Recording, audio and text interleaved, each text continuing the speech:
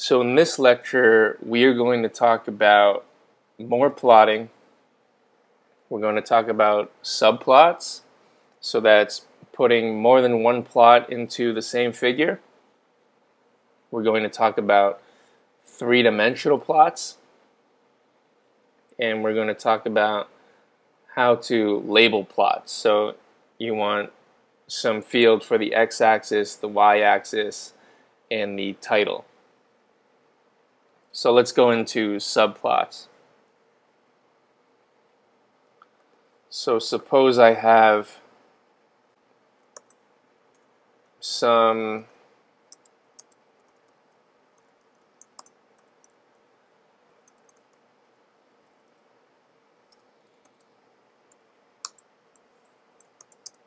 function of x. So let's just say sine x. Then I have another function which is just sine x plus some noise. Okay, so I can plot these individually.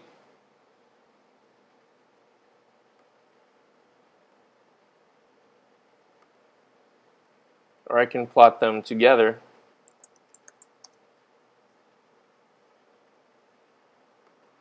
I might want to stack them up or something to see see if there's a correlation between them. So the way we do that is with subplot. So we call a function called subplot and it takes in three values. Okay, so the, the three values are the number of rows in the subplot, the number of columns in the subplot, and then which subplot you're about to plot. So since I have two subplots, let's say I want two rows and one column, and I want to set the first plot. So I just call subplot 211, and I say plot xy. Okay.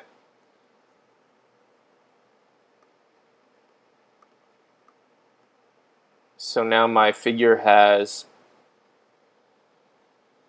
xy in the first row and first column. Okay, so now I do subplot 2, 1, 2, okay, because I still have two rows and one column, but now I want to plot something in the second slot. And here I'm going to plot x and z. So now if I look at my plot, Right, so you can see the two plots stacked up on top of each other instead of overlaid. So the next thing we're going to talk about is 3D plots. So suppose we have some two-dimensional data set. I'm just going to make it random noise. Okay, so there's, if we look at the matrix Z, we see that it's 100 by 100. So the the rows you can think of as the x-axis, the columns as the y-axis, and then the value as the third dimension. So how would we plot this? And so there are a couple ways you may have seen already from your math courses. So we can we can plot an actual 3D plot. So sort of how you draw a cube on a two-dimensional piece of paper, or you could use what's called a contour plot, which draws lines where the value of the function is equal. So we're going to do both of those.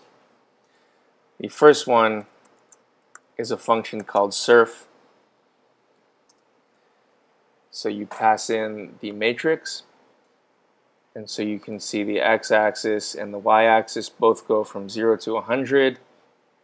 If you look up the documentation, um, you can set the x-axis and y-axis manually, um, and then the height is the value of the function.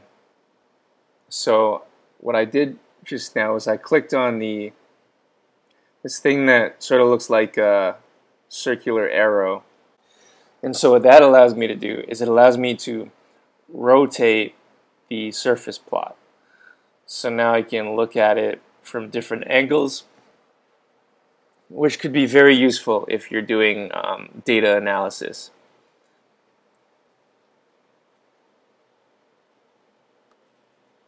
The other type of plot that we talked about is the contour plot. So the simplest way to call that is with the one argument and that generates just a 2D visualization of your data. You know, the red is the really high values and the blue is the really low values. So the third thing we're going to talk about today is how to label plots. So far we've only seen plain visualizations. So let's go in, plot the sine function again.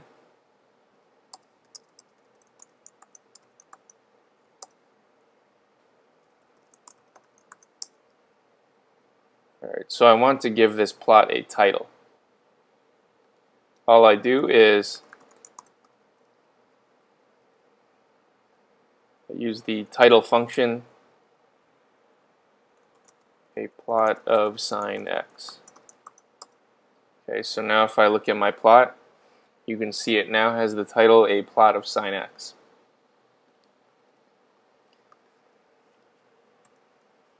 Now I want to label the x-axis. I'm going to label it with a very unoriginal label. Okay. So now you can see the x-axis is labeled. And you can do a similar thing for the y label as well.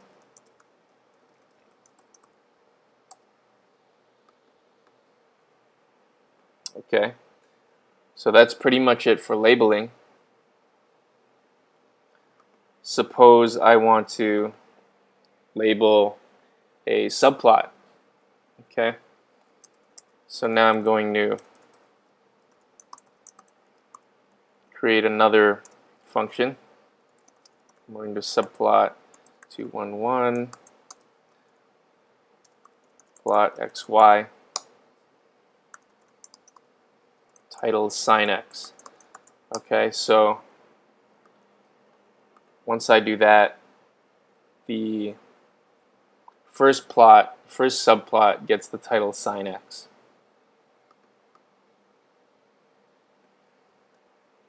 Now I call subplot 212. I plot x and z, and I call title again. So it's the same function, but it's stateful. So it knows that I called subplot earlier and that it corresponds now to the second plot. Okay, so I call title again and now my second plot has the title cos x, my first plot has the title sine x.